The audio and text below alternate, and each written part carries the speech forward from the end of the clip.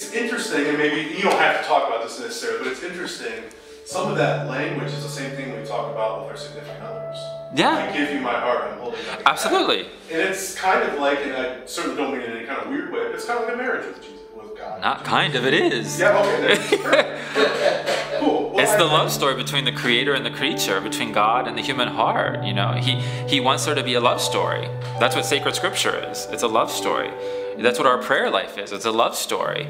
It, it truthfully, it's the greatest drama that we've ever known. The experience of love between God and the human heart, and we're kind of left with a cliffhanger. God is waiting for the response.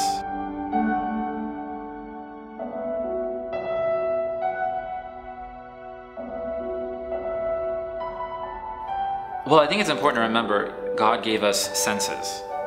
You know, He gave us the ability to see, to hear, to taste, to touch, to smell, so that we could learn and so that we could love. You know?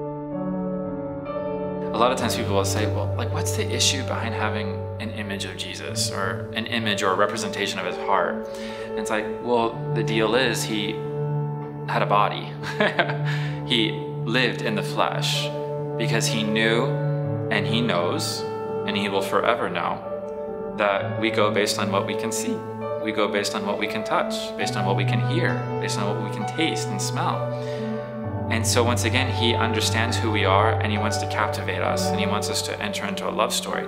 So, he took flesh so he could walk and talk, so he could touch, so he could accompany. Keeping that in mind, that kind of sets the stage for okay, so I got this image of the Lord in my home, and his heart's outside the chest, and it's en- engulfed in flames, and it's got a cross on top, and it's wrapped in a crown of thorns. What on earth does all this mean?